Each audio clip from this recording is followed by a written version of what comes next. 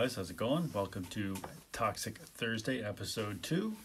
Today we're going to look at the top 10, or my top 10, heaviest albums of 1985. So uh, let's get her going.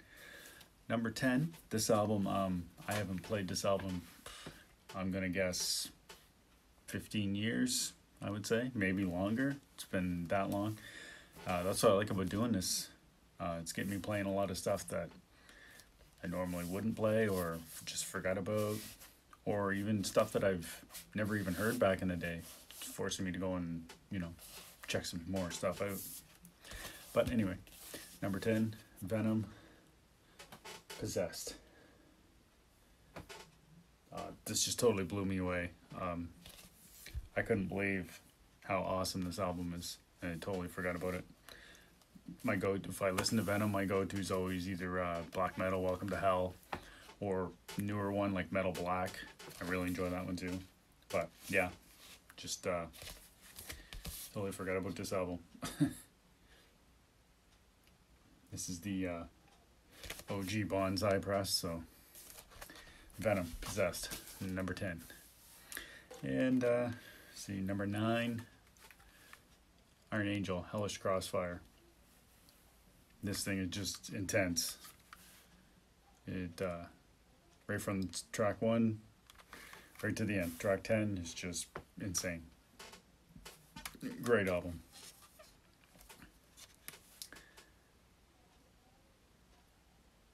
If you haven't heard this album, I'm sure you have, but if you haven't, you definitely gotta check it out. It's brutal.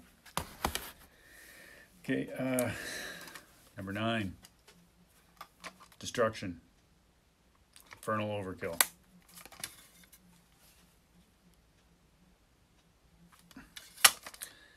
What can you say about this? I mean, uh, it's just intense. You know, you got Bestial Invasion right there. That's, you know, Thrash Attack is just wicked. Um, Antichrist, Invincible Force. Like, damn. Insane, wicked, heavy ass album. Okay, uh, number seven. It's not number seven. This is number seven, right here. Slayer, Hell Awaits. This was, uh,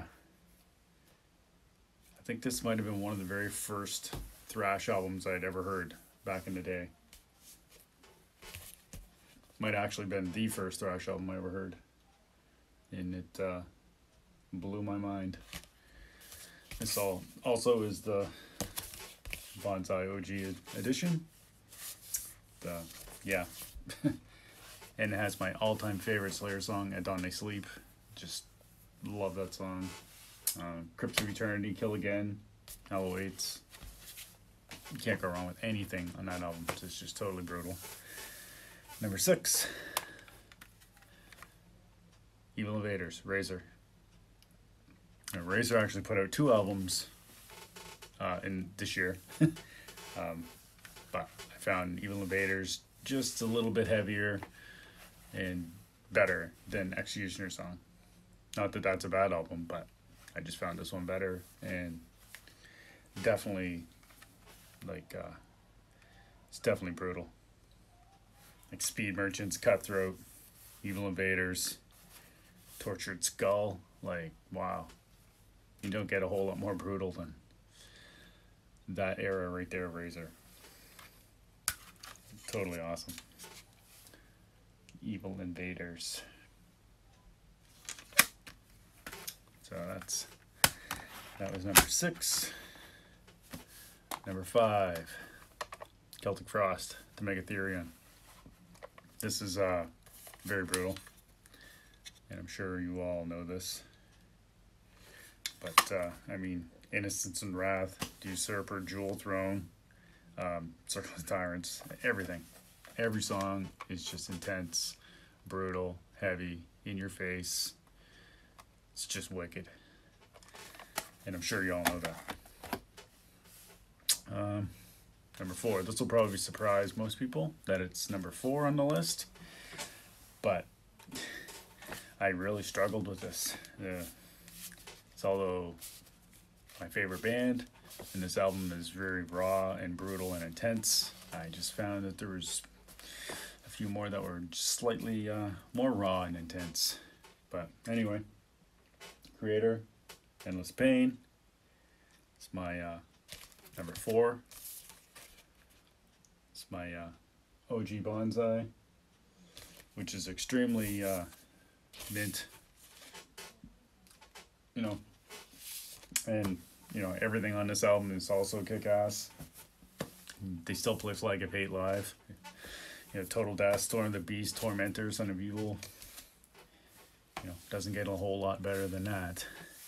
But having said that, here's number four. Bonded by Blood. Um, this thing is just super intense. Right? I mean, and every song, every song on this thing is just insane. My favorite would be No Love. I love the acoustic intro and then just, you know, kicks you in the face. Piranha, I mean, come on. Strike of the Beast, totally intense. Just an insanely amazing album. And number two, this is, uh, yeah, I actually even forgot. Oh, I remembered that I had it, but I hadn't really listened to it in forever, and I couldn't even really remember what it sounded like, honestly. And I played it, and it just uh, blew my mind all over again. Bathory, The Return. Now, this is uh, a heavy ass album.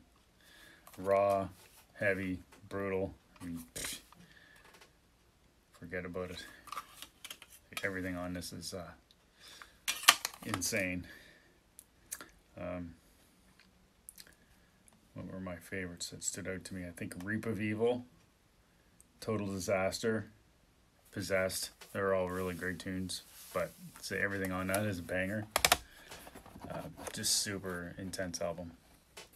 I'm glad that I get to revisit it, and yeah, appreciate it now for what it is. Cause wow. so, number one, know what it is yet? Figure it out. Number one, Possessed, Seven Churches. Probably uh, the heaviest album, the most intense album of 1985. And really, probably most other years too. This thing is just insane. Um, everything on it is wicked. Again, this is my uh, banzai edition. But yeah, every song, man, like, like holy hell. um, yeah, Satan's Curse, Death Metal, Fallen Angel, Evil Burning in Hell, Pentagram, The Exorcist, everything, man. This album is just totally intense. Totally intense. Just doesn't get a whole lot better than that right there. For me, anyway. So that was my top 10 heaviest albums of 1985. There's a few extras that I had that kind of got pushed out. Overkill, Feel the Fire, um, Anthrax, Spreading the Disease, Exciter, Long Live the Loud, and Living Death Metal Revolution. They got edged out by some of the others, but say it's just hard to pick, right? And a few uh, notable mentions that I checked out online that I don't actually physically own was uh, Hallows Eve, Terror, and Tales of Terror. Sorry, um, yeah. Couple of these I'm glad I don't have because I would have had to try and get them in there, and yeah, it would have been hard. But that uh, Hallows Eve album is totally intense. Onslaught, Power from Hell, another intense one. Warrant, The Enforcer, damn, that thing is just brutal. Abattoir, Vicious Attack, again, you know, Agent Steel, Skeptics Apocalypse, like shit. Warlock Hellbound, that was pretty intense album as well. And Artillery, Fear of Tomorrow. Um, yeah, just so many. but I found as hard as 86 was to do last week, um, I found 85 harder. um, just to get that, you know, get the order in. It, like I, I fought with it most of the day. um, and a new thing I was looking at, um, some bands that newly formed in 1985, just some notable bands that you may have heard of and may have went on to do uh, you know, some good stuff like Carcass. They formed in '85. Defiance, Exhorder, Forbidden, and Exumer, all new bands in 1985. So yeah, that was pretty awesome. Um, so yeah, that's my top 10 list of heaviest albums of 1985. So thanks for tuning in to uh, Toxic Thursday, episode two. And uh, next Thursday, uh, I believe it's going to be 1984. I already made the list of uh, albums I got to play and look up. So yeah, pretty sure that's what it's going to be 1984. So have a good one. We'll see you later.